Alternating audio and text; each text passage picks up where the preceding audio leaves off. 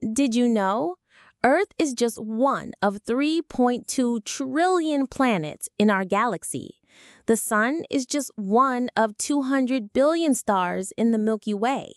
The Milky Way is only one of 2 trillion galaxies in the observable universe. The sheer scale of the universe is absolutely mind boggling. Our planet, Earth, may feel like home, but it's just a tiny speck in the vastness of space.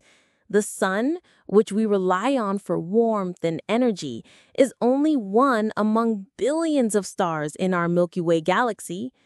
And our galaxy? It's only one of many, part of a cosmos that stretches across trillions of galaxies. This fact puts into perspective just how vast and mysterious the universe is full of countless stars, planets, and galaxies, many of which may harbor their own hidden wonders and possibly even alien life.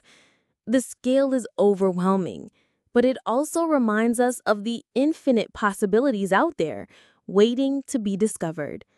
As we continue to explore the cosmos, we are reminded of our place in this grand, expansive universe and at the same time, how rare and precious our existence might be.